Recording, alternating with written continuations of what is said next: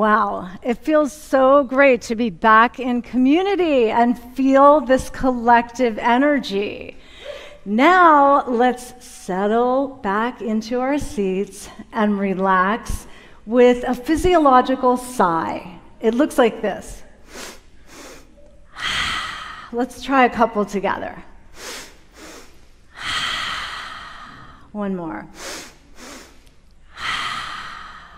Okay, I'll begin. 33 years ago, I was asked a simple question that changed the trajectory of my life.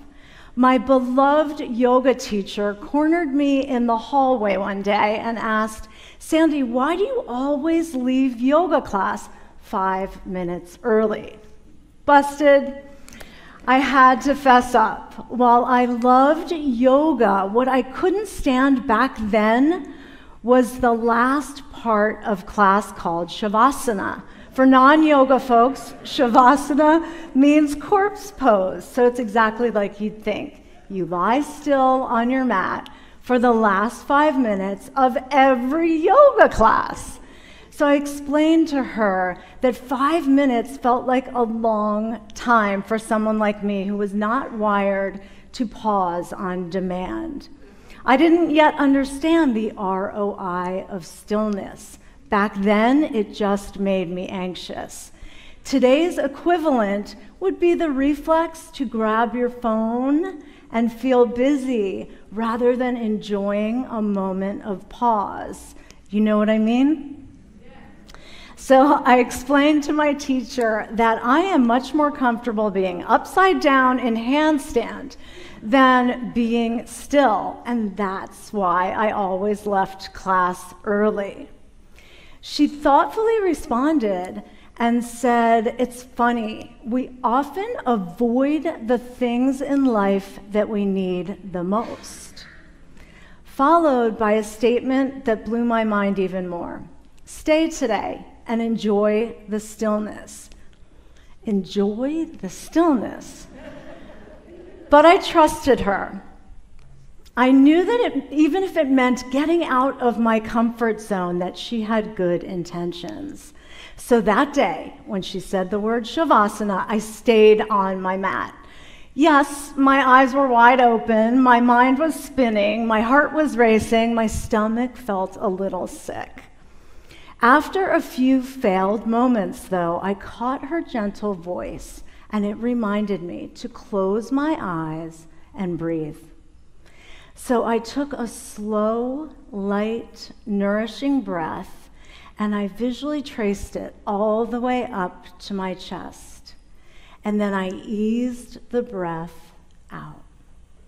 Whoa, my body took the second inhale and exhale like it was craving this new feeling. And this time, I could hear the space between my heartbeats. My mind felt still and my stomach felt safe.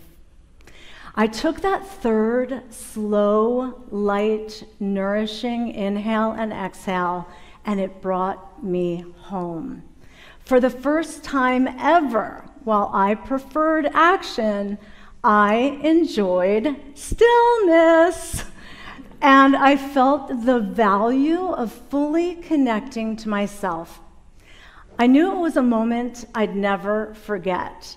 It also made me curious. What if I took the power of three deep breaths off the yoga mat and into my life to help me control my nervous system and emotions anywhere? What I had avoided became my North Star. Isn't it ironic that corpse pose made me feel so alive? I realized right then that how you breathe is how you are. Um, oh, okay, hang on. Since March of 2020, COVID has taken our breath away on many levels, and it's likely that you've been holding your breath in fear of COVID at times without realizing that when you hold back your breath, dysfunctional breathing causes stress and it sabotages the very things you're trying to protect your health and immunity. We've been running from everyone's breath because the resource that gives us life had become a possible deadly weapon. Our routines were upended. Our days became consumed with taking all possible measures to avoid COVID. It was an intense and scary time in survival mode. But your fight or flight nervous system response to danger is meant to be temporary, not lived in for two years. It needs to be balanced with rest and digest relaxation breaths. So let's take three calming breaths together now. Get comfortable, maybe both feet on the floor. Close your eyes. Place one hand on your chest and one hand on your belly. And starting your breath deep in the belly, Take a slow inhale and visually trace the breath as it goes all the way up to your chest. And then slowly exhale, making your exhale even longer than the inhale because relaxation happens on the exhales. This first breath reconnects you to you so that you're internally focused versus externally distracted. The second breath, again, from deep in the belly, inhaling through your nose, light, slow, nourishing breath. And slowly exhale as your heart rate slows and your blood pressure lowers.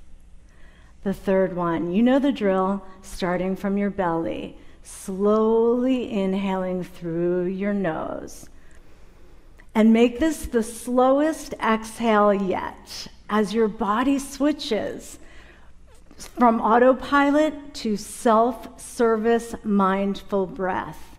This slow breathing signals your brain to release endorphins, also known as the body's natural painkillers.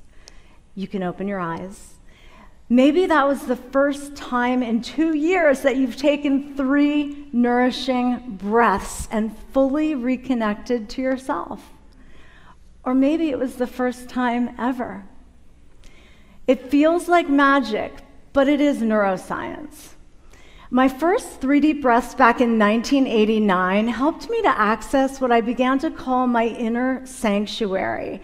It was my way of understanding this sacred space inside where breath is always at the ready to help me experience life more mindfully. You've got an inner sanctuary too, and it's unique to you. You've got one, you've got one, you've got one too. I'm channeling Oprah here because everybody's got an inner sanctuary. And the key that unlocks this place of refuge, mindful breath, and you're in. Breath isn't meant to just keep you alive. Mindful, strategic breath is meant to help you feel more alive. How you breathe is how you are. So, my advice to you about breath is don't listen to me, listen to you.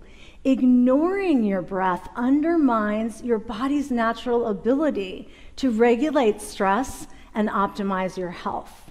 But listening to your breath, paying attention to your breath, empowers you to create your optimal energy.